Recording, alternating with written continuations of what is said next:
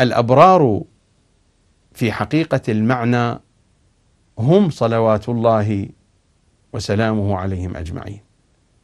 الأبرار في المظهر الأتم في الصورة الأكمل هم صلوات الله عليهم. لكن العبارة هنا تقول وعناصر الأبرار تقول بأنهم هم الأصل الصافي الذي لا تشوبه الشائبه والذي تفرع عنه الأبرار.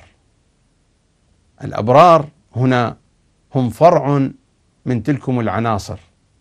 المراد من الأبرار هنا الأنبياء.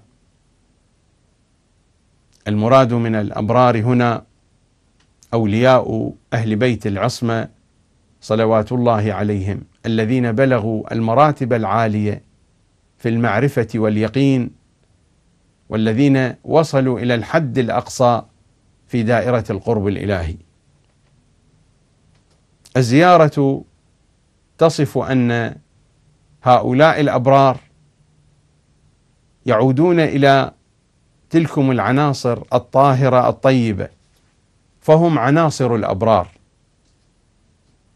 وأهل البيت على وجه الحقيقة إذا أردنا أن ننظر إلى العقيدة الواضحة التي تحدثت عنها الأعداد الهائلة من النصوص المروية عن النبي وعن الأئمة والتي تنبئنا بأنهم أول ما خلق الله حقائقهم القادسة الأولى من نورها صدر النور الذي خلقت منه كل الكائنات.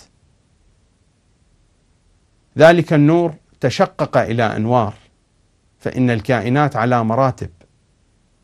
تلكم الأنوار التي تشققت من النور الذي صدر من حقائقهم القادسة هي تلكم العناصر. وإنما جاء ذكر الأبرار هنا لأن الأبرار هم أرقى مرتبة وأوضح صورة وأجلى مظهر من مظاهر الولاية.